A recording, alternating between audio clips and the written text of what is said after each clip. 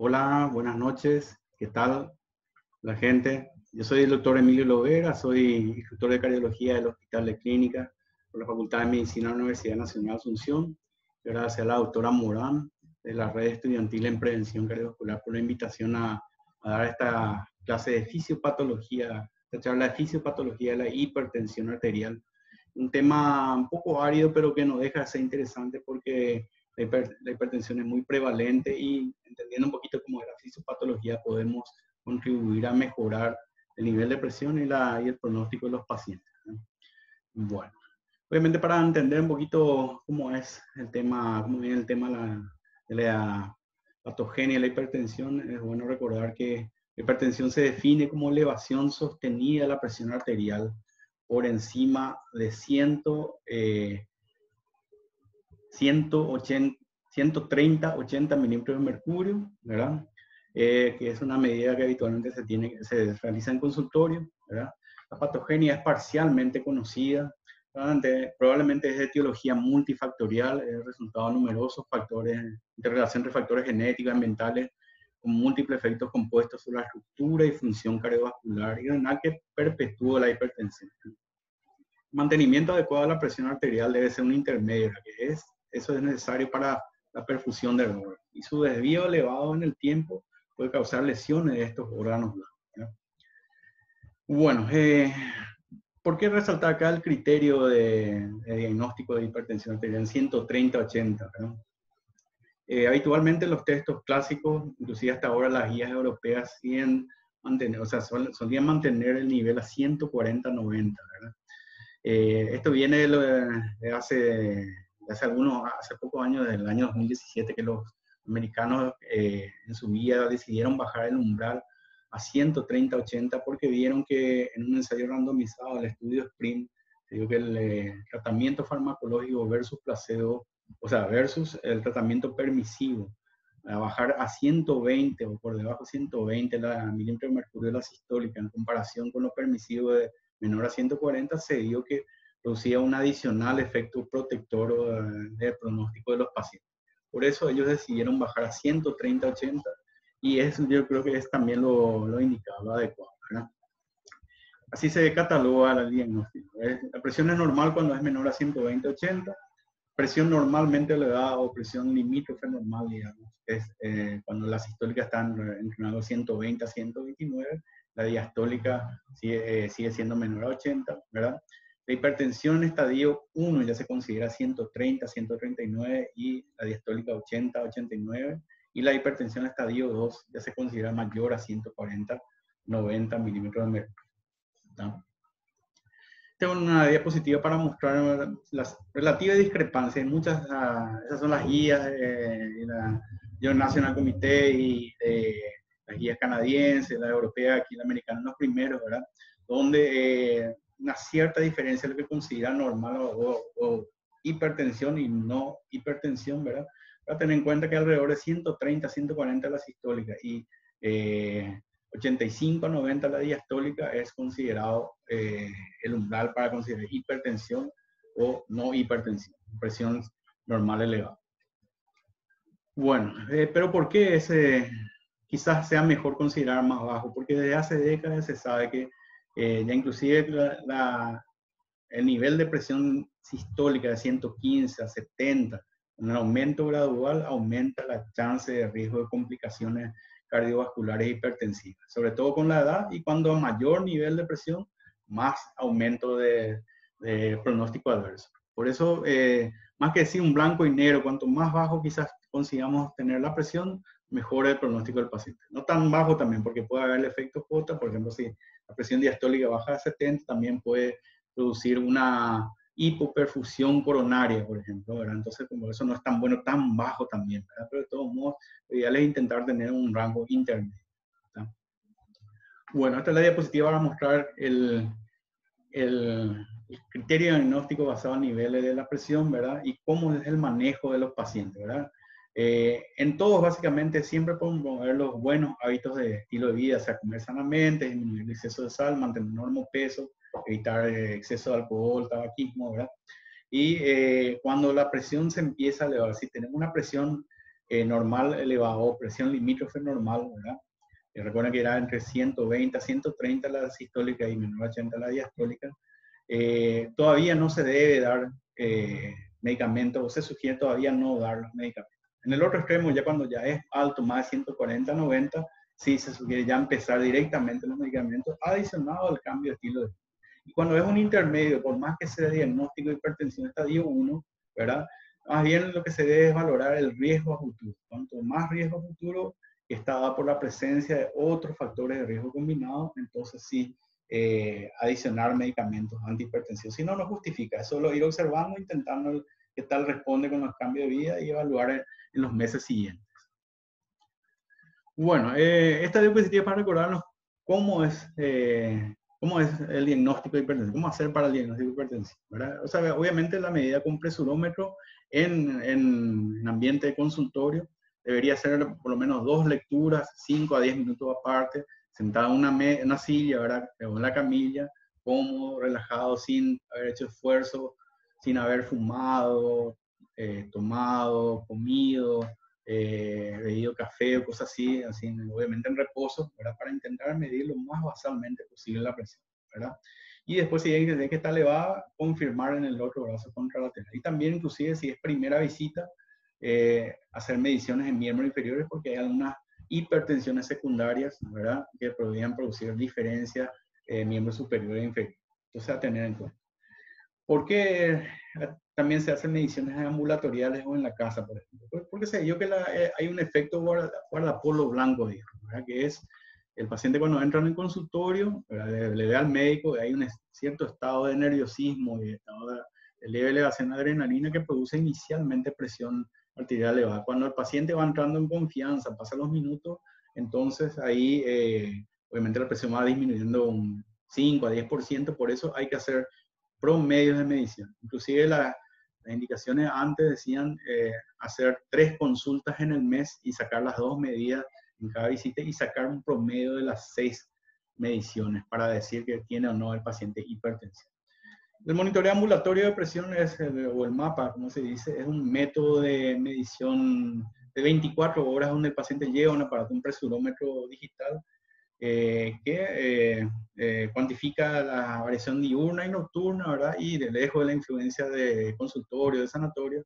Entonces también da un reflejo de la presión basal, inclusive es, es más predictor de riesgo adverso en las medidas conseguidas en este método ambulatorial. Y lo del tema de la automedición en la casa es más para también ver cómo es la respuesta al tratamiento, si el paciente está, está siguiendo bien, tiene que anotar una libreta llevar después al médico para eh, que se pueda cotejar cómo está evolucionando en el tiempo ese, ese tratamiento, si es que lo está siguiendo ¿verdad? El método de medición es oscilométrico, eh, es auscultatorio, ¿verdad? Oscilométrico es auscultatorio más que nada cuando se usa el, el presurómetro de brazo, ¿verdad? Eh, cuando se coloca el estetoscopio en la arteria, en la flexura del codo, en la arteria braquial, y se consigue así, ¿verdad? Se insufla el manguito de presión a un nivel de presión de forma tal que supere a la presión arterial y comprima la arteria contra el hueso, una resistencia dura que es el hueso braquial, ¿verdad? el hueso humeral. Y entonces eso se va liberando lentamente, el, desinflado de la presión va liberando lentamente, como ya habrán aprendido en fisiología, ¿verdad? Para eh, descomprimir y, pero aún así producir una cierta estrechez arterial ¿verdad? Que produce turbulencia al flujo de sangre. Esta turbulencia produce vibraciones que pueden ser percibidas acústicamente por los sonidos de corosco, Ese es el epónimo que se le da a estos sonidos. Se sigue bajando el nivel de presión arterial y obviamente ya no hay más estrechez, ya se está liberando eso. Entonces, cuando se, se liberó esta estrechez completamente, se vuelve a producir el flujo laminar, ya no hay turbulencia, ya no hay sonido. Entonces, esto reflejaría la presión diastólica. Al principio, ¿verdad? Cuando se empieza a escuchar esa turbulencia, es determina la presión sistólica y cuando se eh, para escuchar todo es la presión diastólica. La presión de pulso es la, la, diferencia entre la sistólica y la diastólica. La presión arterial médica, eh, media es el cálculo del tercio de esa presión diastólica, eh, el tercio de esa presión del pulso sumado a la presión diastólica. ¿verdad? Este es también un gráfico para entender cómo se va liberando la presión de inflado hasta que primero haya caído una estrechez, una turbulencia, y después cuando baja todo, ya no se escucha más eso, eso determina también el nivel de presión diastólica. Este gráfico muestra cómo la hipertensión es más prevalente cuando más eh, eh, incrementa la edad de la población. ¿verdad? Eh, cuando más, sobre todo a partir de... La hipertensión puede empezar, o la, la incidencia puede empezar entre los 30 50 años, la hipertensión primaria sobre todo. Pero cuando va pasando las décadas, obviamente la prevalencia aumenta más, ¿verdad? De por sí, lo, el nivel basal normal de la presión en ancianos es mayor que en jóvenes pero inclusive se incrementa a mayor edad. Aquí también da para expresar una cierta diferencia, pero en hombres y mujeres casi es lo mismo. Quizás en, hombres, en, pacientes más jóvenes, un poco más prevalente, y en ancianos, un poco más prevalente en mujeres. Bueno, eh, básicamente este es el determinante fisiológico de la presión arterial. La presión arterial está dada por el gasto cardíaco, por la resistencia vascular sistémica. Y el gasto cardíaco está determinado por el volumen sistólico en cada detección eh, sistólica, ¿verdad? Y la frecuencia cardíaca por minuto. Eso determina el gasto cardíaco. Y la resistencia periférica está dada por la estructura vascular, la estructura anatomopatológica vascular y la función, la alteración de la función vascular dada por eh, todos esos sistemas humorales, eh, la presencia de bulimia, de, la función endotelial, todo eso está. O sea, lo que hay que entender es que cualquier cambio en, cualquiera de estos puede, llegar a producir hipertensión sostenida. Siempre es bueno recordar otra vez que el mantenimiento adecuado intermedio de la presión arterial es necesario para la perfusión normal de los órganos. Tanto el exceso como el déficit eh, produce eh, cambios a corto y a largo plazo. Bueno, esta es una diapositiva para tener en cuenta el, eh, eh, la presión arterial debe medirse en reposo, pero hay situaciones cotidianas que si uno está realizando, se mide inmediatamente la presión arterial, puede dar por encima los valores basales y, en, estar en rango de hipertensión, en realidad no es hipertensión. Por eso siempre hay que intentar medir en reposo. ¿está? En reposo. ¿Por qué? Porque las actividades cotidianas básicas pueden inducir aumento. Por ejemplo, están en reuniones, ya sube, por ejemplo, la sistólica 20 eh, milímetros de mercurio. Hacer un trabajo de oficina, 15 eh, a 20, ¿verdad? solo el hecho de caminar aumenta 10 a 15, vestir también, ¿verdad? Tareas domésticas aumentan 10, inclusive hablar por teléfono también cerca de 10, eh, solo el hecho de estar conversando también aumenta 5 a 10, ¿verdad? Y acá, por ejemplo, de la situación de reposo ya prácticamente no, ¿verdad? Inclusive el dormir disminuye la presión arterial sistólica con relación a la presión diurna porque esto es una, un desbalance, eh, un ciclo circadiano de, de estado eh, supresión adrenérgica y predominio del tono vagal, ¿verdad? No parasimpático, ¿verdad? Entonces produce una disminución en personas normales, ¿verdad? Acá citamos el tema de cefalea, porque los dolores corporales en realidad producen también un cierto estado de, de estrés ¿verdad? mental. ¿verdad? Obviamente, cualquier dolor produce una, un malestar, elevación de adrenalina, y la cefalea produce 10 a 20% de elevación transitoria de la presión pero no es sinónimo de que una cefalea, o sea, una hipertensión mal controlada, cosa que es un mito en la población, inclusive en el ambiente de los médicos. Eh, hay hipertensión, ya se considera que podría ser, o por lo menos se, se lleva a estudiar profundamente el paciente. Recuerden que hay muchas otras causas de cefalea, ¿verdad? Y es más bien una, una, relación, una alteración lo que es causa-efecto. Más bien, eh, elevación de la presión es un efecto de la cefalea y no una causa de la cefalea, ¿verdad? Cefalea viene del concepto de, de las crisis hipertensivas que van a ver en, los días siguientes, en la charla de crisis emergencia hipertensiva, ¿verdad? Pero que está acompañado de, obviamente, elevación exagerada y otros cambios sintomatológicos del paciente, ¿verdad? Y puede tener riesgo si no se trata. Pero la cefalea cotidiana, la tensional, la migraña, eso no, es reflejo de hipertensión ¿verdad? Eh, bueno. Este gráfico es para mostrar cómo es la complejidad y cómo los múltiples factores, no solo uno, pueden afectar o, llevar con el tiempo al tema de la presión. Por ejemplo, ya hablamos de la influencia del género, el sexo, la edad, ¿verdad? Después el estrés, el estrés de la vida cotidiana, ¿verdad? Eh, alguna que otra influencia genética, ¿verdad? No, no, muy bien determinada, el estado adrenérgico, el simpático, por varios factores, ¿verdad? el gasto cardíaco aumentado del corazón, eh, el efecto renal de poca natriuresis, retención de sodio, de líquido, hidroelectrolítica, el tema de la obesidad o el consumo de alcohol, de calorías, el tema de micronutrientes, sodio, potasio, también influye, ¿verdad?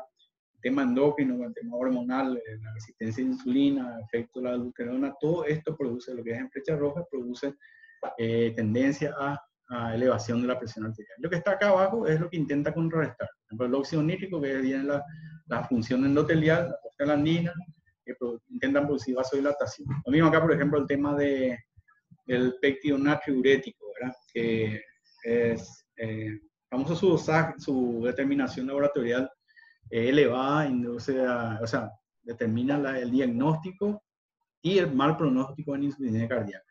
Eh, ¿Por qué comentar esto? Porque en realidad el péptido natriurético es un, es intenta hacer un vasodilatador justamente para contrarrestar ese estrés, ¿verdad? Y su elevación obviamente eh, Obviamente es un mecanismo débil para contrarrestar el exceso de estrés vascular, pero eh, intenta contrarrestar. Bueno, entonces acá para citar, eh, haga un poquito orden a toda esta complejidad. Está, eh, están los determinantes genéticos, los determinantes de hábito comportamiento, como hablamos, tipo de dieta, la interrelación del sodio y potasio, el exceso de alcohol, sedentarismo, la obesidad, eh, los mecanismos neurogénicos, hablamos del estado hipergenérico, la obesidad que de por sí también en un cierto estado hipergenérico, la apnea del sueño también, los mecanismos renales donde están influidos por la interrelación de la presión, la arteria renal y la natriuresis resultante. Eh, después veremos lo que, tiene que ver el nacimiento pretérmino, los síndromes genéticos que alteran un poquito la natriuresis, que vamos a ver después, ¿verdad? También están los mecanismos vasculares, como hablamos la tanto funcionales, la disfunción arterial, como el remodelado anatomopatológico vascular que hace perpetuar la, hipertensión. Y los mecanismos humorales en sí, que es el, todo el tema del sistema renina angiotensina aldosterona. Bueno, determinante genético, vamos a empezar. Eh, acá hay una lista larga de síndromes genéticos monogénicos que solo son responsables del 3% de toda la población hipertensiva. ¿verdad? Son difíciles de determinar, obviamente el, no es necesario determinar, todo no ayuda mucho, pero hay ciertos patrones que pueden producirse, ¿verdad? Todos estos, la mayor, o por lo menos la mayoría, afectan eh, el tema de renina, angiotensina, aldosterona y la natriuresis en el riñón, ¿verdad? Más que nada, eh, no, es no se puede determinar bien estrictamente un método de herencia, ¿verdad? pero se sabe que hay cierta variabilidad de transmisión en el 50% de los hipertensos. Por ejemplo, hay mayor prevalencia de hipertensión en grupos familiares que en desconocidos que viven en el mismo el mismo ambiente hogareño. Es más, inclusive hay relaciones entre gemelos que en mellizos, inclusive obviamente mayor en hijos biológicos en adoptivos, para tener en cuenta. El tema del sodio, potasio y la dieta siempre es importante. Básicamente es, este gráfico es para mostrar que el exceso de sodio y el poco aporte de potasio en la dieta, ambos llevan a la al aumento del volumen, la contractilidad de las células vasculares y produce hipertensión. ¿verdad? ¿Qué pasa con el tema de la dieta? Que justamente eh, eh, la dieta, la, dieta occidental, eh, comidas rápidas, hamburguesas o comidas procesadas enlatadas tienen mayor contenido de sodio. Y de eso consumimos dejando de lado justamente las frutas y verduras, las comidas naturales que tienen más contenido de potasio y menos de sodio. ¿verdad? Entonces, por eso así, por eso lo ideal es intentar hacer una dieta tipo DASO, dieta mediterránea, que eso ayuda a disminuir la presión, como vamos a ver después. Eh, recuerden también que eh, el riñón, nosotros como humanos evolucionamos de, mm, de, de, la época de antes que consumíamos más elementos naturales, ¿verdad? Que tenían más contenido de potasio y poco contenido de sodio. Entonces el riñón quedó ahí, ¿verdad? Que no puede manejar muy bien el exceso de sodio. Entonces, para tener en cuenta eso. Acá, por ejemplo, se ve, estos son eh, gráficos de mediciones en animales, ¿verdad? Pero se ve que, por ejemplo, mismo bajando la masa, acá, por ejemplo, la masa renal al 70%, pero si no tiene exceso de cloruro de sodio en la sangre, eh, no produce hipertensión. Pero cuando tiene o se le inyecta este exceso, ven cómo eleva la presión arterial. Y también otro gráfico modelo animal que mismo que esté, eh, por ejemplo, si, es normotenso, un animal normotenso, por más que el exceso de sodio quizás no, acá no, no eleva tanto, ¿verdad? Pero eh, si, si, este, si es hipertenso, está medicado, por ejemplo, con inhibidor de enzima convertidora en angiotensina, el exceso de sodio ya empieza a aumentar la presión arterial basal. ¿verdad? Entonces, va a tener en cuenta cómo influye la, el cloruro de sodio en el tema de la presión. El tema de la obesidad, la obesidad también es muy complejo, pero se sabe que desde hace décadas también se sabe que cuando hay sobrepeso y en rango obeso con índice de masa corporal mayor a 30, lleva a mayor hipertensión, ¿verdad? El control de eso quizás en algunos eh, estudios epidemiológicos eh, disminuye también la presión arterial, solo que no muy, muy efectivo. Y, y obviamente también hay la cuestión de que hay personas obesas que no tienen hipertensión. un asunto no bien entendido, pero sepan que eh, hay una interrelación, por lo menos indirecta. Acá esta parte es un, gráfico, un algoritmo de cómo la complejidad de la interrelación de lo que es, por ejemplo, la obesidad visceral, que produce trastorno metabólico como aumento de la resistencia a insulina, entonces intolerancia a la glucosa, un estado inflamatorio crónico, dislipidemia, eso afecta al riñón, ¿verdad? También la obesidad visceral comprime el riñón, eh, produce activación del sistema renina angiotensina aldosterona, aumenta la lectina, todo esto produce eh, indirectamente activación adrenérgica, todo esto lleva a la reabsorción de sodio, o sea, disminuye la natriuresia, aumenta el, estado hidrosalino intracorporal, ¿verdad? Y en última instancia produce elevación de la presión arterial y eh, eh, disminución de la filtración glomerular. Esta también una tabla para mostrar qué sucede en, tanto en, modelos humanos como en modelos animales. Que la obesidad produce aumento de la presión arterial, aumento de la frecuencia cardíaca, del gasto cardíaco, de la actividad adrenérgica renal, ¿verdad? la actividad renina plasmática, el balance de sodio aumenta porque recuerden que disminuye la diuresis, ¿verdad? la absorción tubular de sodio, Aumenta la tasa de filtración glomerular al comienzo, pero después esto se puede estancar o inclusive disminuir si produce esclerosis renal, ¿verdad? Y eh, también hay aumento de la resistencia a insulina. La exposición a la insulina o el aumento de la cantidad de insulina también induce a elevación de la presión, ¿verdad?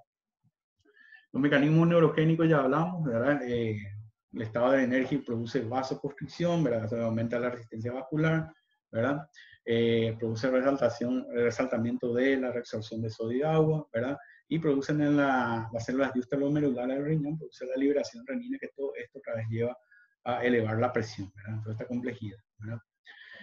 Y acá vamos, eh, este es un gráfico para mostrar eh, quizás más bien los objetivos terapéuticos de este tema de los moduladores neurogénicos, o sea, los varoreceptores arteriales y eh, el tema de los eferentes renales. Por ejemplo, se, se, está intentando en la última década intentar hacer la denervación renal por radiofrecuencia, o sea, por cateterismo, llegando a la arteria renal, ¿verdad? Y se vio que disminuyó eh, en forma, digamos, observacional, se disminuyó el nivel de presión. Solo que lastimosamente en un ensayo randomizado hace tres, dos, tres años, se vio que usando, eh, o sea, intentando en pacientes con hipertensión refractaria que no responden a medicamentos, este, este procedimiento no tuvo mucho beneficio al, al placebo, digamos. Pero eso obviamente tuvo sus limitaciones metodológicas, eso se va a intentar depurar para el futuro. Para tener en cuenta. ¿verdad? Después, obviamente, el mecanismo renal que ya hablamos mucho, ¿verdad? el efecto de la antiuresis, el efecto de ciertos y escasos síndromes genéticos que afectan a la, la, absorción de potasio y la excreción de sodio, ¿verdad? Entonces, eh, eso es lo que produce, ¿verdad? El, aumento de la bulimia y la hipertensión, ¿verdad? Y lo que hablamos, por ejemplo, ¿qué tiene que ver el tema de nacidos pretérminos de bajo peso? Se vio que, eh, obviamente, cuando eh, la criatura en estado fetal es dada a luz en estado pretérmino de bajo peso, hay poca, poco desarrollo de nefronas en el riñón. Y, ese, ese, poco desarrollo puede predisponer en el futuro, aumenta el riesgo relativo de que en el futuro eh, tenga hipertensión. Por ejemplo, aumenta hasta tres veces la chance de un nacido pretérmino antes de las 27 semanas tenga hipertensión en adultos jóvenes, ¿verdad? en comparación al normo, eh, lo que tiene normo peso el nacimiento, ¿verdad? O sea, tener en cuenta. Bueno, los mecanismos vasculares, el remodelado vascular. El remodelado vascular está dado eh, sobre todo por la el, la hipertrofia, remodelado hipertrófico de los, las arterias, ¿verdad? Y eh, hay también un tema remodelado eutrófico en el sentido que eh, se estrecha la luz, pero no se aumenta el diámetro. Esto está dado, eh, sobre todo el remodelado anatómico está dado por la interrelación, lo que es la elastina y el, el depósito de colágeno vascular. Obviamente la elastina, que es un predominio en jóvenes, Puede, puede alterar, los, puede manejar los cambios oscilantes de la, eh, la presión sanguínea porque la elastina está funcionando bien, ¿verdad? Pero el, eh, con el tiempo eso se va alterando, se va quebrando la elastina y se va cambiando a colágeno y eso es lo que sucede en ancianos, ¿verdad? Es, eh, llega a tener mayor cantidad de colágeno, entonces no pueden distenderse las arterias y producen mayor presión sistólica y la diastólica baja. Eso vamos a ver después por qué.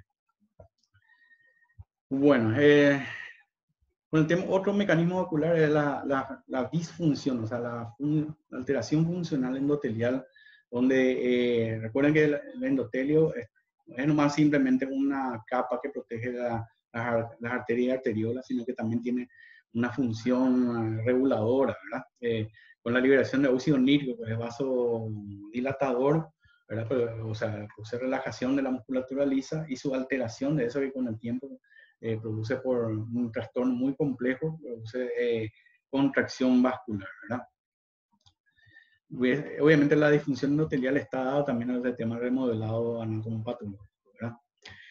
¿Qué pasa con el tema de, por ejemplo, este, de, eh, la rigidez arterial, ¿verdad? comparado en ancianos con relación a la aorta normal, obviamente la presión arterial sistólica, que es que se eleva. En comparación a los jóvenes, Acá sucede que hay la velocidad de pulso normal los jóvenes de, alrededor de 5 metros por segundo. Eso da tiempo que retorne, va a la periferia y la onda pulsátil retroceda, eh, digamos, un poco más lento en comparación a ancianos, que da el tiempo para que justo esa onda retorne a la, raíz aórtica después del cierre de la válvula aórtica.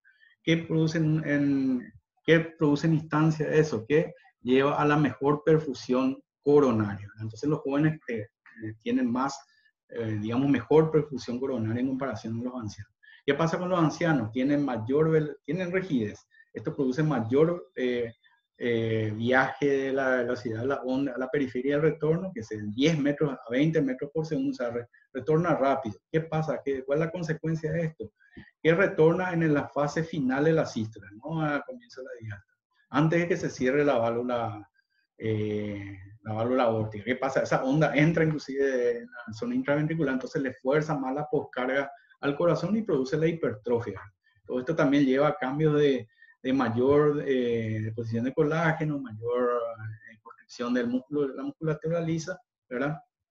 Entonces produce este efecto final que es la elevación y la forma de la, la onda pulsante. Insisto, la que, la que se eleva, pero la diástole baja. Eso es un, la clásica característica de la hipertensión sistólica aislada en los ancianos. Después, obviamente, están mecanismos, los mecanismos murales, como allá nos hablamos ya del sistema renina angiotensina aldosterona, ¿verdad? Eh, es complejo, ¿verdad? Recuerden, como usted hablaba, la fisiología, eh, se libera la renina, priva la angiotensinógena, el angiotensinógeno produce angiotensina 1 o 2, por enzima convertidora de angiotensina. Esto actúa en los receptores angiotensinógenos y eh, produce todos estos cambios así de activación simpática, disfunción endotelial, estado inflamatorio crónico, factores de crecimiento celular, o sea, eh, eh, por ejemplo, como hablamos, o sea, hipertrofia miocárdica, de miocitos, de músculo liso, ¿verdad? produce mayor producción de fibrosis, ¿verdad? Todo eso altera, ¿verdad? También altera el riñón con la retención de sodio, actúan a nivel eh, del eje eh, corticoadrenal, produciendo esterona y más fibrosis, más retención de sodio, ¿verdad? Eh, ¿Por qué hablamos también un poco de fibrosis, ya que estamos en tema en tiempo de COVID? Pues, eso quizás indirectamente se piensa este tema de estado inflamatorio de la hipertensión mal controlada y en pacientes obesos eso del por qué favorece. Aparte de los receptores de angiotensina 2, que el virus es muy afín, ¿verdad? Entonces, ¿por qué podría explicar por qué estos pacientes tienen mal pronóstico en este, tipo de epidemia, ¿verdad? Eso va a tener un poco en cuenta. Entonces, más, más o menos más de lo mismo, ¿verdad? Eh, toda esta relación de elevación de la presión, intolerancia a la glucosa, ¿verdad? Aumenta la arteriosclerosis, eh, puede inducir la progresión de la placa, remodelado cardíaco, produce hipertrofia ventricular y de vasos sanguíneos, eso produce, ya producir isquemia, cardiopatía isquémica, enfermedad cerebrovascular isquémico, a veces eh, necrosis hialina que producen las hemorragias también, eh, perdón, las extravasaciones de sangre y la, el ACD hemorrágico, ¿verdad? Todo esto es, es, de mal pronóstico, todo causado por la hipertensión, por la interrelación de estos factores. ¿verdad? Entonces, de tantas cosas complejas que hablamos, entonces, ¿para qué entonces sirve saber sobre la patogenia y la hipertensión? Básicamente, eh, ya que ahí tenemos en cuenta el manejo del sodio, potasio, el manejo de las dietas, el efecto del sedentarismo y compañía, influir en estos factores ayuda a bajar la presión arterial e intentar mejorar el pronóstico clínico del paciente. El descenso es modesto, ¿verdad? Con cada, medida aislada, pero de todos modos es bueno tener en cuenta. Mismo así es eh, el tema de cambio del estilo de vida eh, y una vida sana es, es fundamental. Todas las guías internacionales de manejo de hipertensión, lo primero que resaltan es modificar estilo de vida porque es costo efectivo, en teoría es, eh, es gratis, o sea, no es, el paciente no tiene que pagar medicamentos, ¿verdad? Y entonces eh, es, bueno, es bueno realizar esto, disminuye el. Acá, por ejemplo, podemos ver que la, la reducción de peso, por ejemplo, para mantener un índice de masa corporal óptimo entre 18 a 25, ayuda a bajar 5 a 20 milímetros de mercurio la presión sistólica y a perder 10 kilogramos de peso. ¿verdad? La dieta DASH o la dieta mediterránea, que hablamos que son eh, dietas eh, ricas en frutas, verduras y bajo contenido eh, lipídico, reducido en grasas, también disminuye 5 a 15 milímetros de mercurio la restricción de sal a 2 a 4 gramos por día disminuye modestamente, pero disminuye de 2 a 8. De todos modos, acá, por ejemplo, hay que tener en cuenta que 2 eh, a 4 gramos por día. Imagínense que una hamburguesa comida rápida que consumimos, que pudimos consumir, tiene, inclusive ya solo ese, esa cantidad, tiene un gramo de cloruro de sodio. ¿Entienden? Entonces, eh, si no estoy recordado, es la sal de sodio o cloruro de sodio, que sí tiene un gramo solo esa esa porción de comida. ¿Cómo bajar eso de disminuiría en decenas de miles el pronóstico anualmente? Por ejemplo, en estudios epidemiológicos de Estados Unidos refieren que así podría suceder, ¿verdad? Pero está difícil por la palatabilidad, Obviamente, comida hipo, o sea, en sal, es, eh, la palatabilidad está deteriorada, entonces se intenta buscar alternativas, ¿verdad? Acá también la actividad física regular, que es solo sugiriendo al paciente que haga 30 minutos de caminata por día la mayoría de los días de la semana, cuatro o cinco veces a la semana, esto ya ayuda a bajar un 5 a 10% o hasta 10 milímetros de mercurio en la presión sistólica. También disminuye el pronóstico. Y disminuir también el consumo de alcohol, a que sea algo moderado, porque el exceso de alcohol también eh, induce otros cambios, ¿verdad? ¿Qué otra parte de la patogenia es útil saber? Que alterando, modificando todos los sistemas neurohormonales complejos que hablamos, eh, a ver, enérgico, sistema renina, angiotensina, aldosterona, diurético, el tema de la natriuresis, todos ayudan a, bajar la presión y a mejorar el pronóstico. Entonces, ya comprobado, ¿verdad? Esto es decir, la sumatoria de varios, varios ensayos randomizados. Ya inclusive de hace 20 años atrás se sabía que la combinación, el, el, tratamiento farmacológico disminuye 20 a 30% la chance de riesgo de complicaciones cardiovasculares hipertensivas. Por eso es útil eh, entender cómo está funcionando, qué está funcionando la presión y qué se puede hacer. Obviamente el, acto reflejo de tratar nomás por la fisiopatología no muchas veces anda.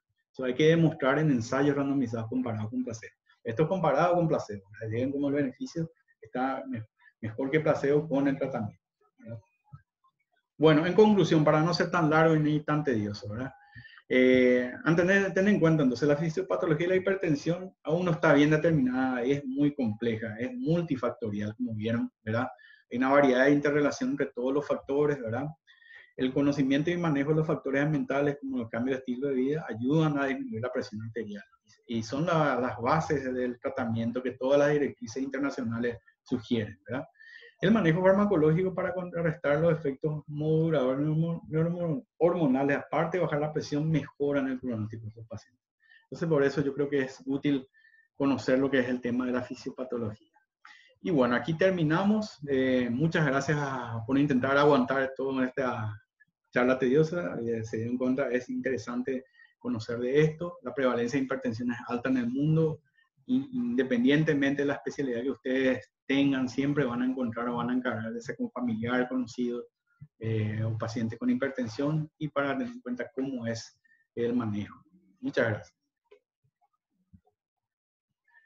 Ah, por cierto, las preguntas, eh, si quieren hacer las preguntas, están en ahí en el, canal de YouTube. Intentaré responder así las dudas que puedan tener.